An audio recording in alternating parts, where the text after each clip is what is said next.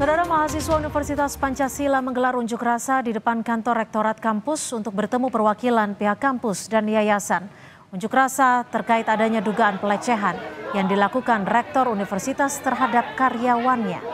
Aksi saling dorong sempat terjadi di antara mahasiswa dan petugas keamanan saat mahasiswa memaksa masuk gedung rektorat untuk bertemu perwakilan kampus dan yayasan.